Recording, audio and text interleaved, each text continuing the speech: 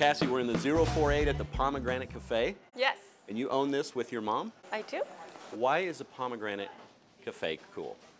Pomegranate Cafe is cool because it offers something that no one else in this community offers. Um, we're inside of a strip mall. Right. And we are handcrafted and homemade, and we offer organic local products that are fresh, delicious, and healthy.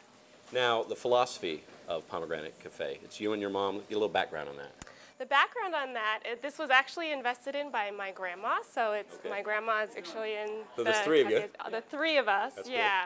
Um, my mom and I have been talking about opening up a place for quite a while. Um, I've been cooking for about 10 years. Right. And everything all came together about a year ago, and we decided to open Pomegranate Cafe here in Ahwatukee. Now, what's the community involvement and what's the philosophy behind all that?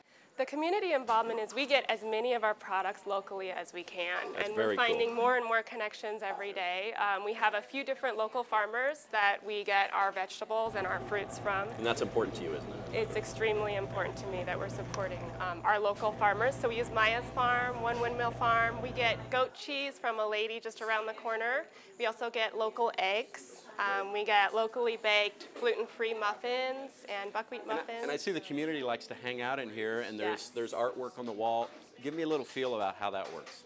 Um, this is a community space, I think because it is different and it's not, you know, a cookie cutter strip mall type space. People really enjoy hanging out here. They feel like they can be themselves and they get to talk with the community here. Well, what about some of the stuff that's on the wall? Where, where, where'd that come from? That came from my friends. Um, we painted the walls ourselves, so I have a couple artist friends. One of them is Saskia Jorda, and she's a Phoenix local artist, and the other one is Lucy Batasova, and she did the little mural on the wall.